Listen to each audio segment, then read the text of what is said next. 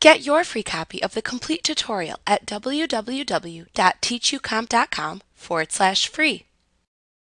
The Outlook web app has a light version which is designed to be used with older web browsers, over slow internet connections, and for users that may have accessibility needs that can be met with a simpler interface. To activate the light version of the Outlook web app, click the Settings icon. Click Options to open the full Options menu. Click the arrow next to General to expand the section. Click Light Version.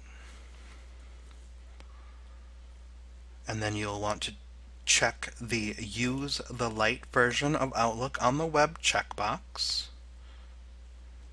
Click Save to save your changes. And then click Options to go back to the Mail app main page. To effect the changes and activate the light version, you'll need to sign out and then sign back in to Office 365 and the light version of Outlook on the web will be enabled.